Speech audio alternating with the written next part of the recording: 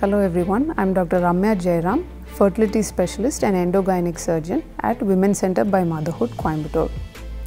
So, the topic we're going to discuss today is something that affects a lot of women, and that is adenomyosis and endometriosis. So, these conditions are usually those that come together and they cause a lot of problems for women in terms of affecting their quality of life by causing heavy menstrual bleeding, severe pain either before or during their periods, and also related to uh, difficulty conceiving. So, almost 1 in 5 women are affected by this condition, and the numbers are only growing. What are the causes for this? We do not know, but a lot of it is associated with a woman's genetic tendency to develop endometriosis and adenomyosis. Some say that women who have fibroids have a risk of developing this as well. There are studies that show that women who have higher estrogen levels in the body have a tendency to develop these conditions. And again, whether it is the chemicals that we consume or it is in, our, uh, in the food that we eat, we do not have an exact answer for what causes these conditions to come. So, what is the difference between the two?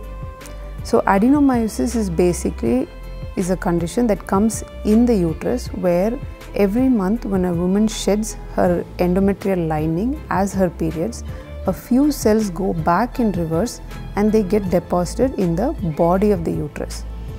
And this over a period of time, over a number of cycles that a woman has in her lifetime, slowly accumulates in the body of the uterus and causes the body of the uterus to swell and become thicker.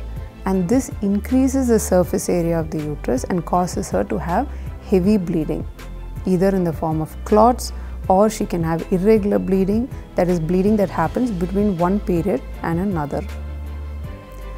So what how does this condition cause a woman to have difficulty conceiving these cells go and get deposited just below the lining where the embryo implants and grows and this affects the blood flow that goes to the embryo at the time of implantation and this can be the main reason why a woman with adenomyosis has difficulty conceiving. What is the difference between adenomyosis and fibroids? A fibroid is a condition where it arises from the cells which are present in the body of the uterus itself and it is usually it starts as small as a grain of rice and slowly grows bigger and bigger and it is very commonly seen like a big ball when you do an ultrasound or an MRI scan. Whereas an adenomyosis will not be seen like that. An adenomyosis will only be seen as the entire wall being thick and it cannot you cannot define the extent to which adenomyosis is present. So that is the main difference between fibroids and adenomyosis. So what is endometriosis?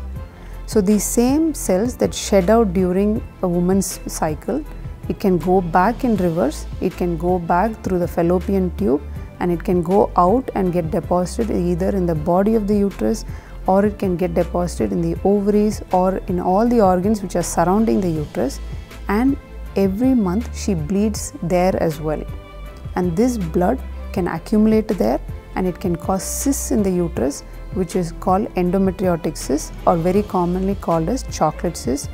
These cells with that deposited outside the uterus or in multiple other organs can cause a woman to have very bad pain because it irritates the nerves and this pain can persist either it will start before her periods it can persist during and even after her cycles are done. So what are the various options of treatment for a woman who has adenomyosis and endometriosis and she's wanting to conceive? So the current science out there says that for a woman who's trying to conceive treating adenomyosis and endometriosis medically is not really helpful because it doesn't do away with the condition, it only reduces the symptoms and maybe it will reduce the size of what is there very marginally, but it doesn't do away with the condition, which is a main factor behind infertility or difficulty conceiving. So, for a woman who has either grade uh, 1 or grade 2 endometriosis, which is very mild form of endometriosis, trying to conceive in the form of some sort of help with uh, either in the form of an IUI or adding on injections to help multiple eggs grow and then doing an IUI may be helpful.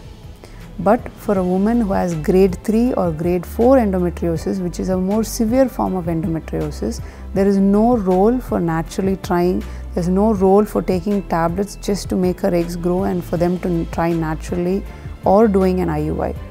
In that scenario, going for an IVF cycle where we completely try and suppress the adenomyosis and endometriosis for a period of few months reduce the inflammation uh, associated with the condition and then transferring an embryo inside has found to have much better results and in comparison to other treatment modalities.